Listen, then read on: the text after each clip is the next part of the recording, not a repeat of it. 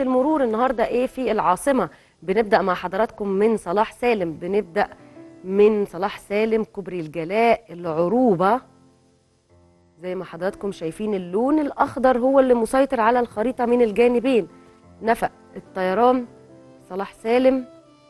اللون الأخضر هو طبعا السائد وده طبيعي إن إحنا نشوف اللون الأخضر هو السائد لأنه أيام طبعا أو يوم من أيام الأجازة فطبيعي إنه مفيش دراسة مفيش أعمال ساعات صباح أولى.